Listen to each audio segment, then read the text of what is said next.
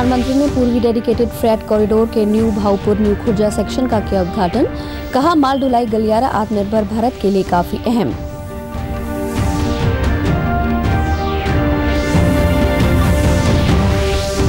देश के अलग अलग हिस्सों से आए किसान संगठनों ने कृषि सुधारों का किया समर्थन। प्रदर्शनकारी किसान संगठनों के साथ सरकार कल करेगी चार अहम मुद्दों पर बातचीत।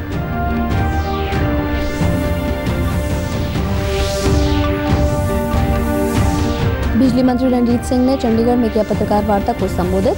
कहा, तीस दिनों के भीतर दिए जाएँगे बिजली के घरेलू कनेक्शन।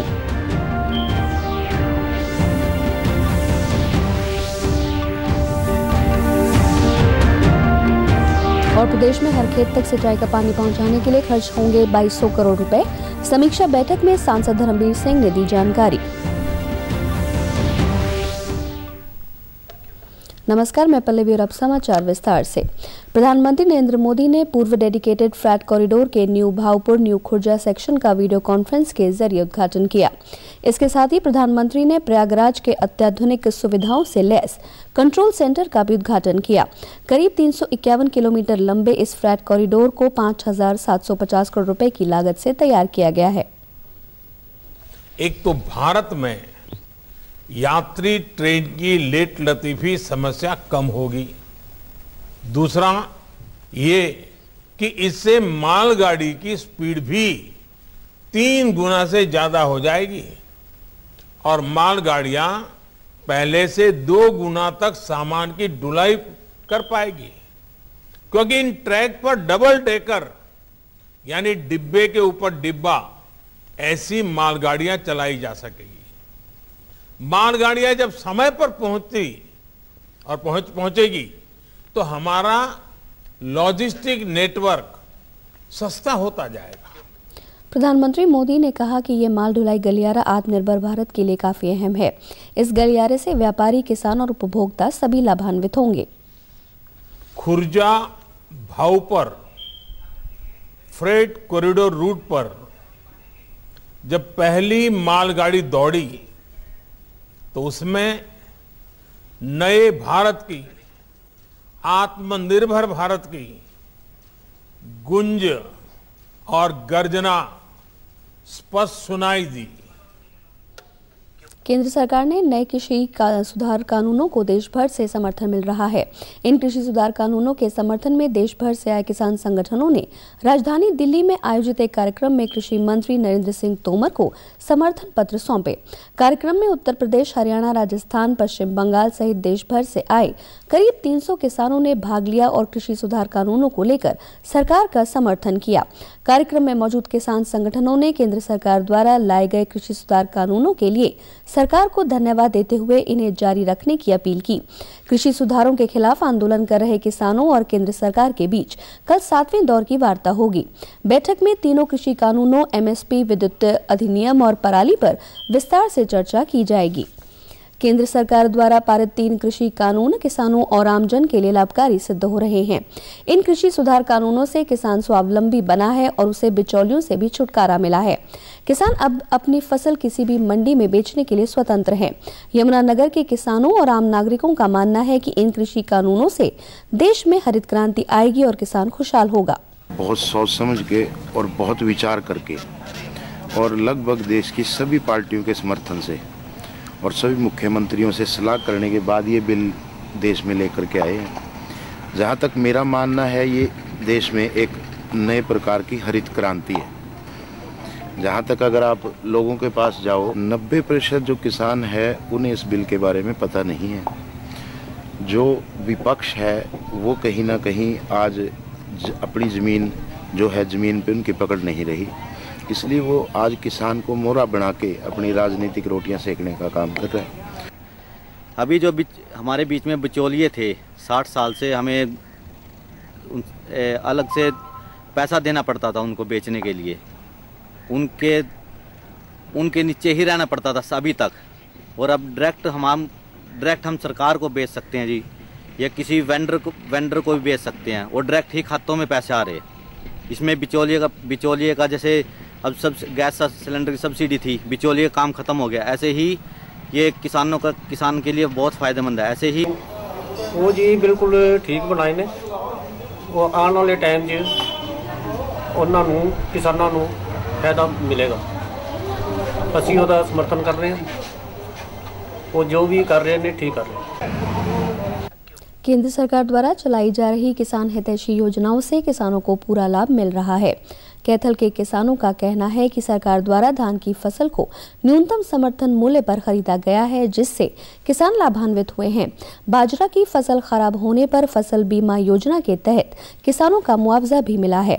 उन्होंने तीनों कृषि कानूनों को किसानों के हित में बताया। किसान के हित में है कि मैंने भी अपनी जीरी सीधे मील में बेची है।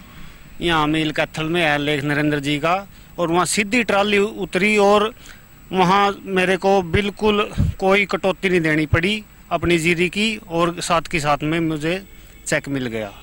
और कैथल मंडी में मैं धान लेके आया था और ठीक तरीके से धान बिका, कोई भी किसान ने कोई प्रॉब्लम नहीं हुई।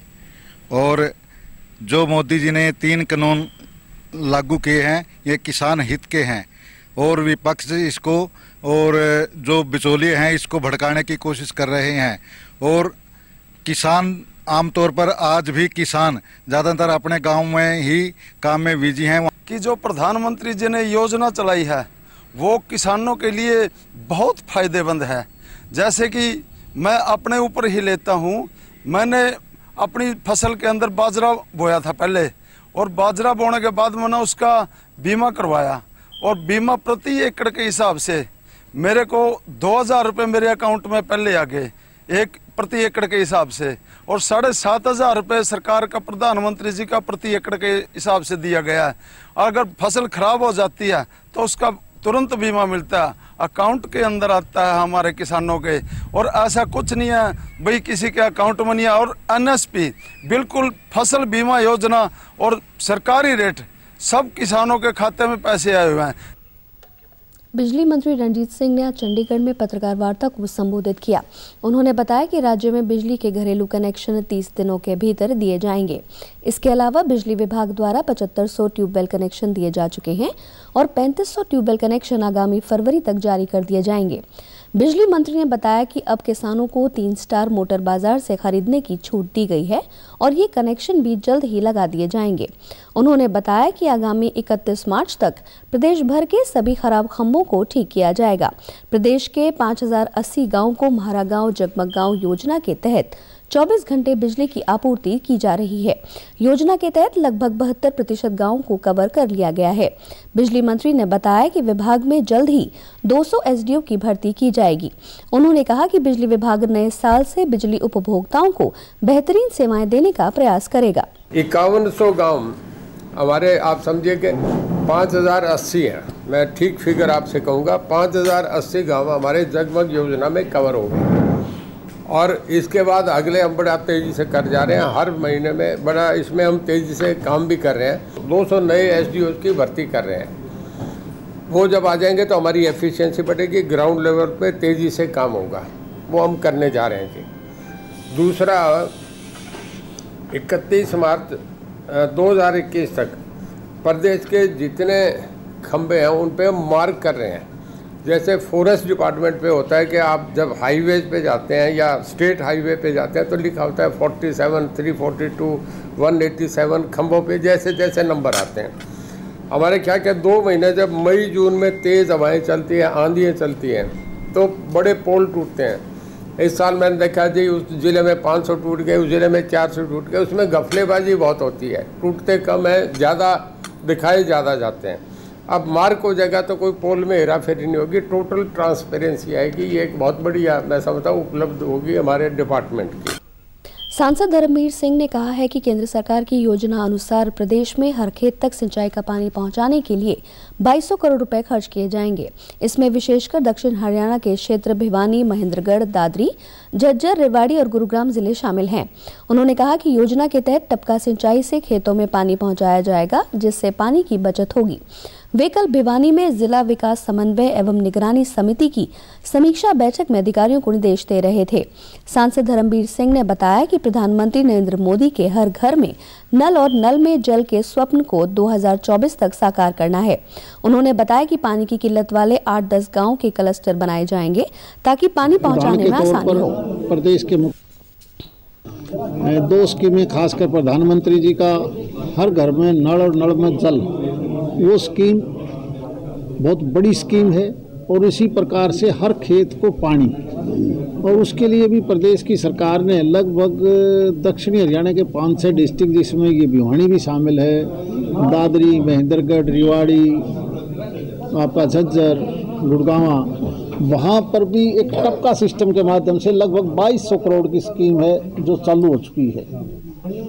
और उसके लिए हमने जितनी दो तीन अलग अलग डिपार्टमेंट हैं, उनको इकट्ठा करके, चाहे वो नहर का विभाग हो पब्लिक हेल्थ का विभाग हो, इनको इकट्ठे करके कि ये स्कीम इस प्रकार से चलाई जाए ताकि सभी खेतों को, चाहे वो थ्रू स्प्रिंकलर सेट या ज़्यादा ड्रीप इरीगेशन के माध्यम से पानी मिले।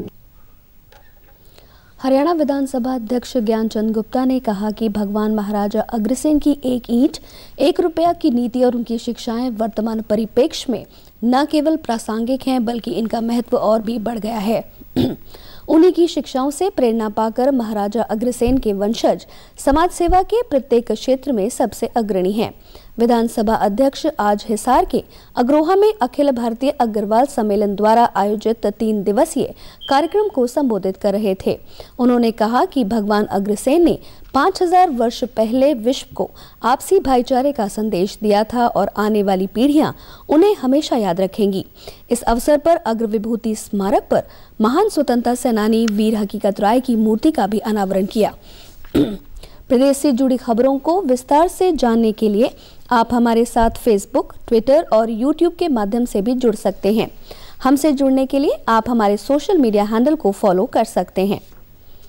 कोविड 19 महामारी के खिलाफ देश एकजुट होकर लड़ रहा है। आप भी हमारे साथ सुरक्षा और बचाव के तीन आसान एहतियाती उपायों का संकल्प लें। मास्क हमेशा सही ढंग से पहने, दो गज की दूरी बनाए रखें और हाथ बार बार धोएँ। देश में पिछले 24 घंटों के दौरान कोविड 19 के 16,432 नए मामलों की पुष्टि हुई है।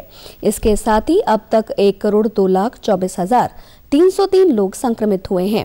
अब तक एक लाख अड़तालीस हज़ार एक सौ तिरपन लोगों की इस महामारी से मृत्यु हो चुकी है। इस समय कुल दो लाख उनहत्तर हज़ार पाँच सौ इक्यासी सक्रिय मामले हैं। कल एक दिन में चौबीस हज़ार नौ सौ रोगियों के स्वस्थ होने के साथ ही अब तक अठानवे लाख सात हज़ार पाँच सौ उनहत्तर रोगी स्वस्थ हुए हैं। स्वस्थ होने की दर पिचानवे दशमलव नौ दो प्रतिशत हो गई है। वहीं प्रदेश में कोरोना से स्वस्थ होने वाले मरीजों की संख्या बढ़कर दो लाख चौवन हज़ार से अधिक हो गई है। प्रदेश में रिकवरी रेट सतानवे दशमलव तीन पाँच प्रतिशत और मृत्यु दर एक दशमलव एक शून्य प्रतिशत है। वित्त मंत्रालय ने वस्तु और सेवा कर जीएसटी के कार्यान्वयन के कारण राजस्व में आई कमी को पूरा करने के लिए राज्यों को 6000 करोड़ रुपए की नौवीं साप्ताहिक किश्त जारी कर दी है। इसमें से 5,516 करोड़ रुपए से अधिक की राशि 23 राज्यों के लिए और चार सौ अठाईस करोड़ रुपए से अधिक की राशि तीन केंद्र शासित प्रदेशों के लिए जारी की गई है। ये सभी वस्तु और सेवा कर परिषद के सदस्य हैं। शेष पाँच राज्यों अरुणाचल प्रदेश मणिपुर मिजोरम नागालैंड और सिक्किम में जीएसटी पर अमल के कारण राजस्व में कोई कमी नहीं आई है। केंद्र ने जीएसटी के कारण राजस्व में कमी की भरपाई के लिए इस वर्ष अक्टूबर में एक विशेष ऋण व्यवस्था शुरू की थी। इसके तहत केंद्र सरकार औसतन चार दशमलव छिहत्तर प्रतिशत की ब्याज दर से राज्यों और केंद्र शासित प्रदेशों के लिए ऋण लेती है। और अंत में इस बुलेटिन के मुख्य समाचार एक बार फिर। प्रधानमंत्री ने पूर्वी डेडिकेटेड फ्रेट कॉरिडोर के new Bhaupur new Khurja section का किया उद्घाटन कहा माल ढुलाई गलियारा आत्मनिर्भर भारत के लिए काफ़ी अहम।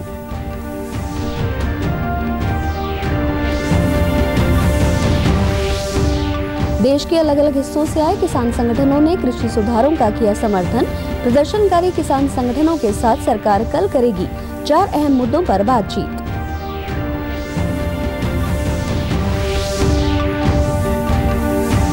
बिजली मंत्री रणजीत सिंह ने चंडीगढ़ में किया पत्रकार वार्ता को संबोधित। कहा, तीस दिनों के भीतर दिए जाएँगे बिजली के घरेलू कनेक्शन।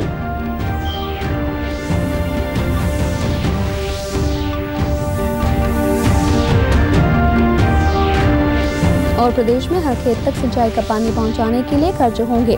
22 करोड़ रुपए समीक्षा बैठक में सांसद धर्मवीर सिंह ने दी जानकारी। समाचारों में आज बस इतना ही, नमस्कार।